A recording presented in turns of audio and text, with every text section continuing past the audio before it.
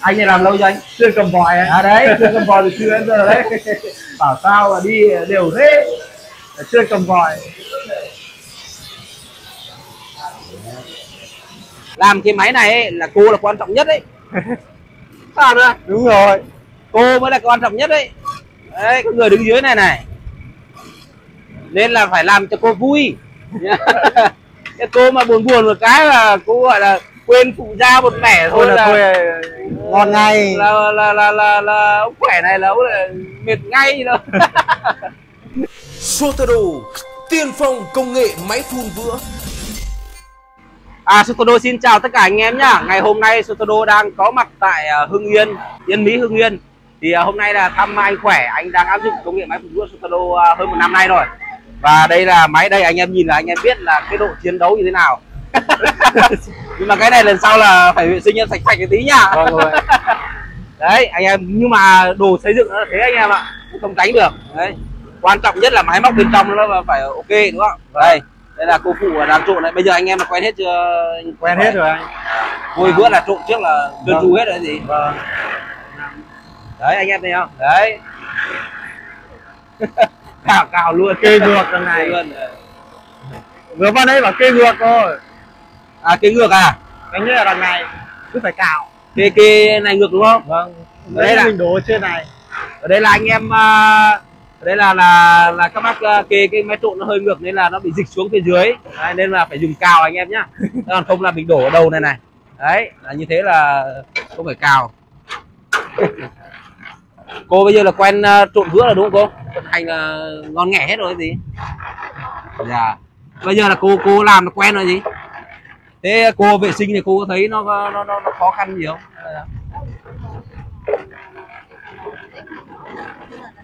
Dạ nhưng mà vệ sinh vệ cháo là mình tự làm ngon nghẻ hết rồi đúng không cô?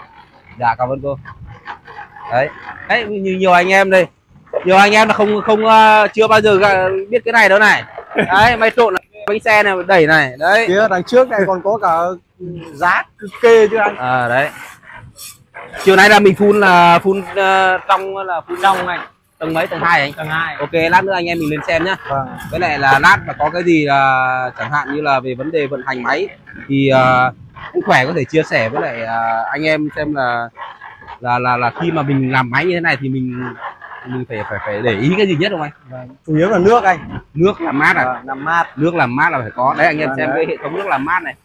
Như này là tiện đúng không anh? Vâng. là mình không phải đổ nước liên tục mà nó nhiều khi mình không quên đi nhỉ? Vâng. Rồi thứ hai nữa là cái khâu trộn vữa là vệ sinh là nó phải để ý gì không anh. đấy. trộn vữa là phải vữa viết là phải đều anh. Đều. Rắn quá thì lại lên kém. À. cái nam nắng như thế này là mình phải cho nó dẻo hơn không? Vẫn phải dẻo hơn anh. Dẻo hơn đúng không? Nắng đúng không Thế à, thi thoảng mà gặp cái những cái trường hợp tắc ống thì là do cái gì? Không phải do mình để lâu quá thôi. Để nằm chết lâu à? Vâng. Thế là khi mà ví dụ chẳng hạn như em vẫn chia sẻ với anh không biết là là anh có nhớ không nhưng mà ví dụ như nam nắng anh ngồi uống nước anh em nghỉ 30 phút ngồi uống nước thì năm sáu 50 phút thì mình à, lại bấm, bơm bấm điều khiển vâng. một lần. Đúng rồi. thì cái đấy là nó nó không giúp hạn chế gì anh ạ. Vâng vâng. Mình có thể hút nước được mà. Hút vâng ngược hút xuôi đều được. Để cho cái ống nhá anh em nhá là nam nắng nếu như mà anh em à, để nằm à, chúng ta nghỉ giải lao ấy thì là trong cái giờ nghỉ ấy là anh em 5 phút anh em cứ cầm điều khiển từ xa anh em bật để cho cái vữa ở trong cái ống này này nó di chuyển. Đấy vữa ở trong máng chúng ta vẫn để nguyên. Đấy và cái vữa trong ống này mình bật khoảng à, máy khoảng à, 15 20 giây thôi để cho vữa nó di chuyển ở trong ống để khỏi nó chết một chỗ anh em nhá. Và nó không bao giờ tắc đây là công tác đây là các bác là chuẩn bị phun đây ờ, anh em nhá mùa nam nắng này nên làm cũng hơi muộn đấy anh vâng. nắng này buổi sáng, là buổi sáng mình phun ngoài anh. Vâng. Sáng phun ngoài. Mọi hôm mà cứ nắng nắng nào à, sáng nào mà chiều nghỉ đấy đấy. Nắng quá này cứ cậy là làm máy nhanh là, là thế là là làm là cứ kiểu là sáng làm thì chiều nghỉ chia sẻ với lại à, anh em là anh khỏe đây là có à, chú anh Hoan là bố vợ là đã sử dụng máy phun vữa của Sotero cách đây là 3 năm rồi đấy. Nhỉ? ba bốn năm Đấy, ba bốn năm rồi anh em ạ. Còn anh à, Giang đây là à còn anh à, anh khỏe đây là con rể và cũng áp dụng máy phun vữa Sotero luôn. Là hơn một năm nay rồi. Đó. Nhưng mà áp dụng là những người tiên phong ở những cái khu vực mà anh sinh sống. Đấy đấy là cái thầu trẻ đấy anh em nhá. Cái thầu trẻ dám nghĩ dám làm ấy. Đấy. Cái này là cứ trước khi làm là trộn à, thường là cô phụ là trộn mấy mẻ? Hai mẻ trước. Đổ Cứ hai mẻ trước. Vâng. đấy. Đó là cái cách làm anh em nhá. Có nghĩa là khi mà trước khi chúng ta vào làm ấy là cô à, người phụ ấy người ta sẽ trộn trước là hai bom vữa và người ta đổ vào trong máng này. Thì là cái lượng vữa trong này sẽ là cái lượng vữa gối đầu. Thì như thế là phụ sẽ nhàn hơn đúng không anh? vâng. Đấy và và cái nhiều người không hiểu ấy ờ, mình làm đến đâu mình đổ luôn đến đấy mình làm ấy. Thì như thế là máy nó hút rất là nhanh thế là người phụ người ta rất là mệt. Đó. Chỉ một cái động tác đó thôi nhưng mà cô này là làm ờ, lâu rồi anh ạ. lâu đấy, à? đấy nhìn cái gọi là là là việc như thế nào cứ thế làm là biết rồi. Ở đây là mình dùng BC 30 đây nhỉ? Đâu cơ? phụ da đâu anh ơi? Phụ da nha phụ da nha đừng Phụ da quên đâu, phụ da nha. đâu? đấy phụ da cho chưa? Phụ da làm à, máy là anh em là không bao giờ được quên phụ da anh em nhá. Chỉ cần là một mẻ mà anh quên phụ da là là, thôi là ăn đủ luôn đấy. Là tắc ống nhá là lúc đấy chúng ta xử lý nó sẽ mệt. Đặc biệt là nam nắng này à, với anh à, khỏe chia sẻ xem là cái phụ da này là khi mà anh sử dụng cho vữa mà mình làm các thường bao nhiêu công trình hơn một năm nay rồi thì chất lượng nó có đảm bảo không anh? Đảm bảo anh ạ. Nó không bị nứt loát gì Nên trước mà không có phụ da thì hay bị nứt lắm. Cái biểu nứt nó dễ cháy tường anh. Vâng đấy. Có phụ da mà nó dẻo nó tường nó chắc hơn giữ nước chắc hơn. Nhưng mà nam nắng này mình vẫn nên tưới qua một Có lượt. chưa anh? đấy. Anh em nhá nam nắng này mình vẫn nên tưới qua một lượt nhá. Xem à, anh em phun đấy vữa là phải độ, độ dẻo nhìn là đã thấy vữa là ok đấy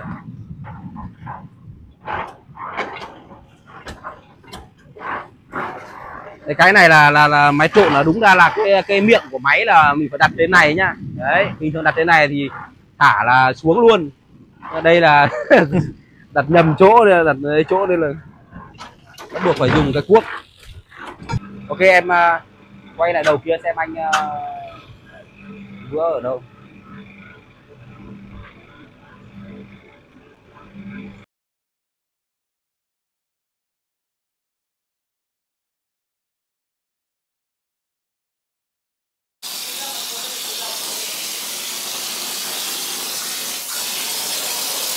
Là chúng tôi đang à, đến thăm công trình của anh khỏe đây anh em nhé yên mỹ hưng yên. Đấy, thợ của anh à, đang phun này. Dơ xa tường ra một tí anh ơi. Ok anh em đang bắt đầu phun đây anh em này. Nói chung là mùa hè nam nắng này ấy, dù là cái vữa của mình là nó có phụ da ấy tuy nhiên thì anh em mình vẫn nên tưới qua một lượt. Vì cái mùa nắng này là nó có ngót rất là mạnh gạch nó hút nước rất là cao rất rất mạnh. Đấy đấy.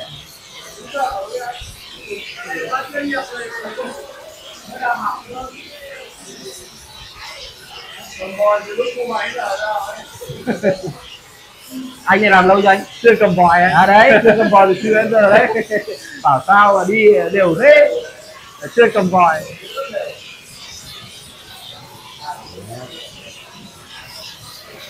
Là dưới này là tầng à, hai này máy là số tiếp.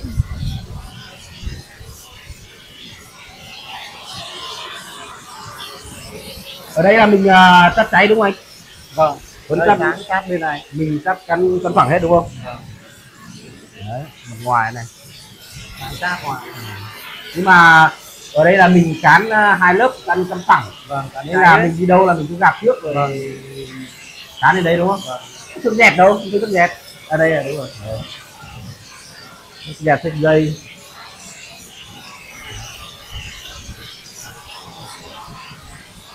bây giờ mà như anh, thêm rồi như anh em ờ, thợ ở bên mình đây làm máy quen này rồi bây giờ vào tay chắc ngại đây ngại đây bây giờ bảo là các cô là phụ vữa này ờ, chuyển vữa lên đây sau là đưa vào phòng rồi om lên là thôi thì cũng mệt đấy cũng mệt phết đấy nhỉ làm cái này như anh ờ, khỏe thấy là từ thời mà làm cả với anh Hoan bây giờ mình làm đây thì mình đánh giá là cái lượng ờ, chi vữa là nó có tốn hơn cho chủ nhà nhiều không hay như nào? Nó cũng gọi gần tương đương này cũng tương đương nhau đúng không? Tương đương mình làm thủ công này.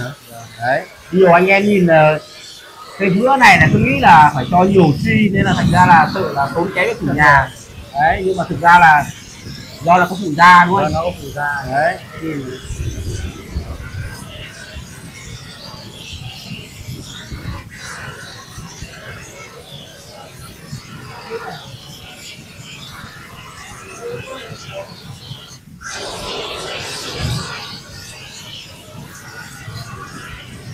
à, sửa đi phải rất là cầm cạnh hết rất đúng không? Vâng cầm hết Đấy. anh em này đây là sửa đi là lúc mà mình làm máy ấy, mình cứ cầm cạnh là hết là trước này. Đấy sau đó bắt đầu cứ theo cái này là cáp thôi anh nhỉ? Đấy. Ở đây là anh à, khỏe sẽ chia sẻ với anh em nha có nghĩa là khi mà mình vào Vâng. trước đây mình làm thủ công đúng không? Thì thường là mình sẽ cáp từ trên xuống. Thì vào là mình sẽ bắt giáo trước đúng không anh khỏe? Vâng. Còn bây giờ mình có máy mình làm mình chắc hai lớp. Rồi. thì là cứ vào là mình phun ờ, phun hết tầm dưới phun hết tầm dưới hết tầm tay này. Vâng. mai thì bắt giáo phun cả trần hết tường luôn. Và khi mà bắt giáo thì à, mình bắt luôn cả một tầng hay à, cứ bắt dự phòng một tầng xong có hết luôn này. Bắt hết luôn. Sau là mình phun chân và phun cái à, cổ tường luôn. cổ tường. Tất luôn à, phun chân đá chân đến tường luôn. Tường luôn có nghĩa là sau là mình lúc mà mình bắt giáo thì mình hoàn thiện trên này. Vâng. sau đó là mình mới rút xuống giáo xuống là mình hai lớp ở dưới này lớp hai dưới này đúng không? Lúc ý là mình ờ, dây hết luôn. À, dây rút giáo luôn. Đấy. Đó là cách làm rất là hay anh em nhá. Có nghĩa là mình phải bố trí máy hợp lý.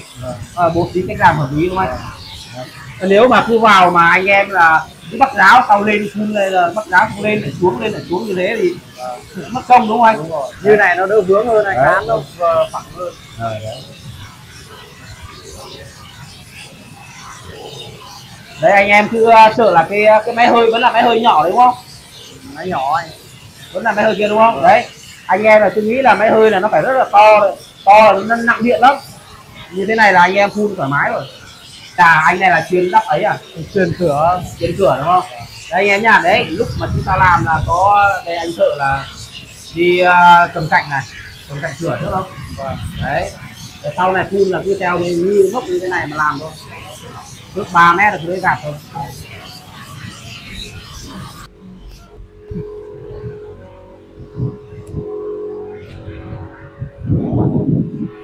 Vừa nãy giờ là cô ờ, phụ cô đang hoạt động nãy giờ này.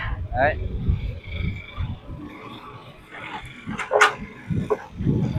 À, bình thường mình vào xây trát là mình dùng cái xi măng BC30 này hết đúng không? Vâng chứ không dùng 40 đâu đúng không 40 tùy từng nhà vẫn dùng 40 nhưng mà thường có nhà dùng 40 Thế à?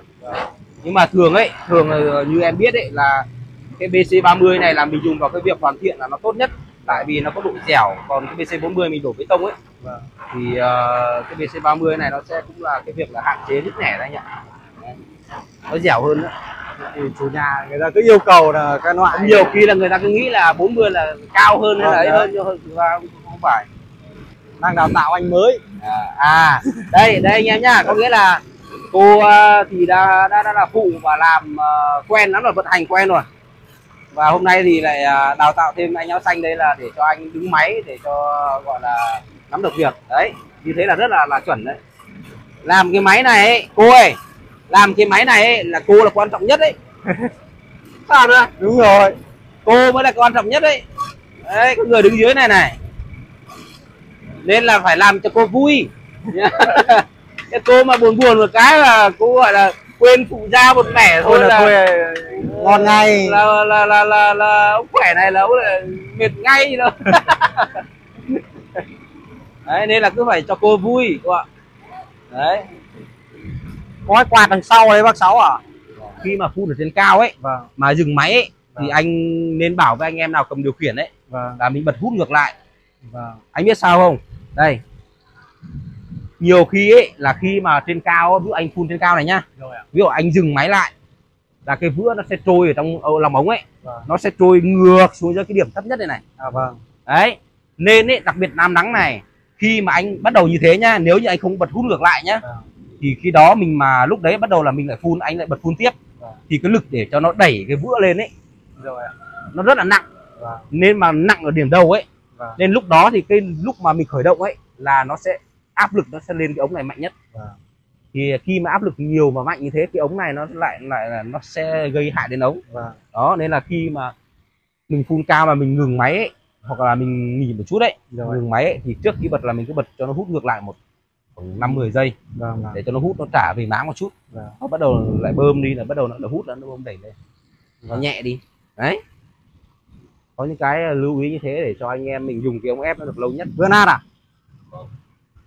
hút lại một tí anh. Đấy. Đấy nhá hút ngược lại này. Đây. Đấy. Được anh ạ. Tắt đi. Thôi tắt đi rồi. Tắt đi anh ạ. Thế rồi một chút là được. Trong quá trình làm mình có vướng víu cái gì mà mình cần phải rút kinh nghiệm mình làm mình chỉ mỗi để ý vữa lúc mình làm để ý vữa việc nó vôi vữa làm sao để cho nó chuẩn? Cho nó chuẩn không nát không rắn là trên là phun ngon.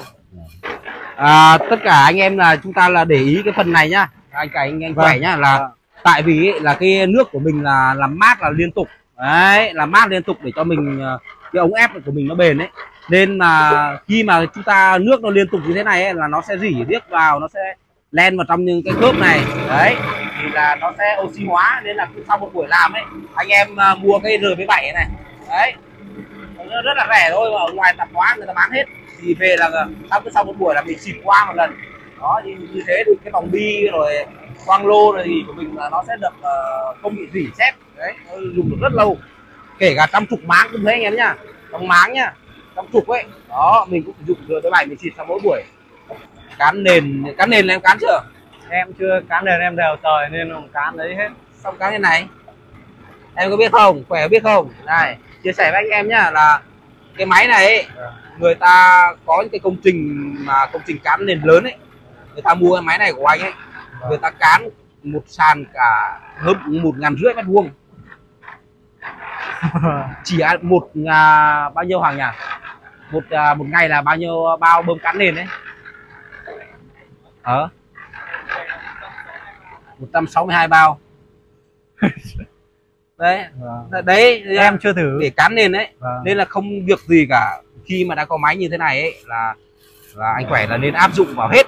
Vâng. mình thử ok với mình thì mình làm. Vâng. để mình tận dụng khấu hao cái máy đi bơm cán nền Vâng. xây xây cán nền này cái nhà cư nhà dân này bơm lên ờ, chẳng hạn nha ví dụ như anh cán với nhà vệ sinh đúng không Vâng. anh làm một lúc Rồi. em nói với nhà vệ sinh thôi nhá Vâng. thì anh bơm lên một lúc mấy nhà vệ sinh mà làm chứ không phải là bơm một cái nhà vệ sinh nhỏ nhỏ mà bơm mất công bơm bơm nhiều đúng rồi đấy cán nền này cán nền à à, cái này vẫn cán nhé cán xong mới lát à hay là cán xong mới nát này đấy thì cán nền mình sử dụng máy mình bơm nhiều mình cán hết đi. Vâng. cán cái này hơi bị thích luôn. Nó dẻo này. Ờ, nhà ga này là sau nó chắc nó không bị nứt nẻ gì đâu. Đấy. Đấy, một ngày người ta bơm trăm sáu mươi mấy bao liên tục cán nền mà phải nhiều đấy đây à, qua anh khỏe chia sẻ cho anh em này là thực tế là cái chi phí phụ ra vào một cái nhà tầm khoảng à, thường làm à, anh khỏe làm khoảng hai hay ba tầng là nhiều. Hai tầng này thường hai tầng. Thì Vâng. chi phí vào các cả trong cả ngoài đúng không? Vâng đúng rồi. Chi phí phụ ra vào một cái nhà như thế là tầm khoảng bao nhiêu tiền? Nó chỉ tầm một triệu thôi anh ạ. Đó anh em nhá. Có nghĩa là hết tầm chỉ tầm khoảng một triệu tiền phụ ra thôi ấy. cả một cái nhà hai tầng to như thế này khoảng sàn khoảng à, 90 100 mét 90 đến 100 mét vuông. Đó. Mất có một triệu đồng tiền phụ ra thôi. Và đây là phụ ra loại xịn đấy nhá. Đó nên là anh em không phải lăn tăn về gì về cái vấn đề Vâng. gọi là chi phí phụ ra đúng không? Đúng rồi. Nếu mà chủ nhà người ta gọi là người ta ờ, ok gọi là hỗ trợ thì ok còn không thì không thì thôi mình chả đáng gì đúng không đúng rồi. Đấy, so với cái công là mình nhận được đúng không? Vâng. Đó ok. À ngày hôm nay thì uh, Stado là có mặt ở đây để uh, thăm uh, anh khỏe cũng Vâng. như là lúc nãy không có kiểm tra máy móc cho anh. Vâng. thì uh, ngày hôm nay thì được anh sẽ chia sẻ những cái uh, kinh nghiệm rồi những cái uh, nội dung khi mà áp dụng cái công nghệ máy phun vữa thì uh, rất, rất cảm ơn anh uh, anh khỏe. Và cũng cảm ơn anh em đã theo dõi kênh nhá xin cảm ơn tất cả anh em. Sotaro nâng tầm công nghệ xây dựng Việt.